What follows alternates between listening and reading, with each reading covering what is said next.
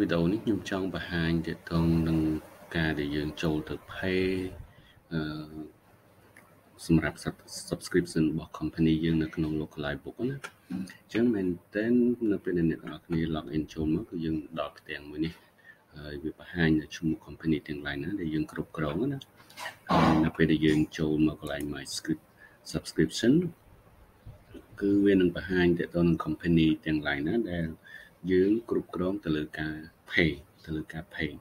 អញ្ចឹងបើសិនជាអ្នកទាំងអស់គ្នាមិនមែនជាអ្នក pay ទេអ្នកទាំងអស់គ្នាអាច invite to pay នេះយើង click កន្លែង invite to pay ទៅយើងអាចបញ្ចូលនៅ email របស់អ្នកដែល pay ណាហើយយើងយើងអាច submit បានយើងដាក់ email ហើយយើង click invite to pay ហើយបើសិនជាយើងជាអ្នក pay វិញយើង click ប៊ូតុង pay now នេះតែម្ដងបាទចុច pay now ចឹងនៅក្នុងនេះជាលើកដំបូងវានឹងចេញឲ្យយើងថាតើយើងនឹងបំពេញនៅឈ្មោះអីលេខទូរស័ព្ទណាអាស័យដ្ឋានណាដើម្បីដើម្បីឲ្យឈ្មោះទាំងអស់ហ្នឹងគឺវាចេញនៅលើ receipt ហើយនិង invoice ដែល system នឹង generate ណាជាអ្នកទាំងអស់គ្នាបំពេញមកថាបើសិនជាបើសិនជាយើងចង់ឲ្យចេញឈ្មោះ company យើងដាក់ឈ្មោះ company របស់យើងមក ហើយបើសិនជាអត់ចង់ឲ្យចេញឈ្មោះ company ទេគឺយើងដាក់ឈ្មោះ personal របស់យើងទៅន័យថា business យើងអត់ register អត់អីចឹងណាអត់មាននៅក្នុងអត់មានជា co ltd អត់មានជាអីអញ្ចឹងយើងដាក់តែឈ្មោះណាដែលយើងចង់ឲ្យចេញមកវាអាចតែឈ្មោះបុគ្គល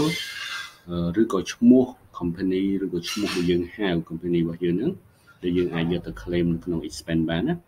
បាទអញ្ចឹងយើងបំពេញមកហើយយើងចុច save close ទៅ ឧទាហរណ៍ថាកន្លែងនេះយើងដាក់ឈ្មោះ parent ព្រោះ company ខ្ញុំអត់ register ទេខ្ញុំដាក់លេខទូរស័ព្ទមកលេខផ្ទះរបស់ខ្ញុំខ្ញុំឧទាហរណ៍ថា1 2 3ចុះលេខផ្លូវ3 stop code បើមានយើងដាក់មកហើយបត់តិចក៏យើង plan ទៅ city ដាក់ភ្នំពេញយើងទៅ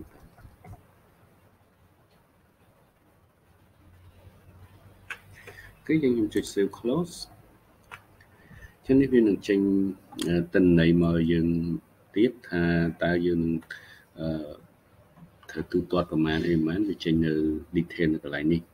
ពីការទូទាត់នេះសម្រាប់ខែដំបូងអាចនឹងខុសពីតម្លៃដែលយើងដាក់នៅក្នុង website ដោយសារតែ ធម្មតាពេលយើង pay ដំបូងវាអាចនឹងអត់អត់គ្រប់មួយខែឬក៏លើសពីមួយខែដោយសារតែយើងកាត់កងគ្នារវាងពាក់កណ្ដាលខែណាបើសិនជាអ្នកទាំងអស់គ្នាទូទាត់នៅចុងខែបានន័យថាយើងនឹងគិតថ្លៃលើមួយខែបានន័យថានៅសល់ប្រហែលថ្ងៃនៃខែដែលយើងកំពុងអភេហ្នឹងបូកជាមួយនឹងខែក្រោយប៉ុន្តែបើអ្នកទាំងអស់គ្នាភេនៅដើមខែក្រោយគឺយើងគិតអត់អាចនឹងមួយខែត្រឹមឬក៏អត់គ្រប់មួយខែ ហ្នឹងហើយអញ្ចឹងនៅពេលដែលយើងនេះហើយយើងអាចចុច pay now បានបាទពេលយើងចុច pay now ជាងយើងជ្រើសរើសវិធី pay មកថាតើយើង pay តាម ABA ឬក៏ credit ឬក៏ debit card មួយណាក៏បានដែរហើយដោយសារ ABA ស្រួលជាងជាងយើង click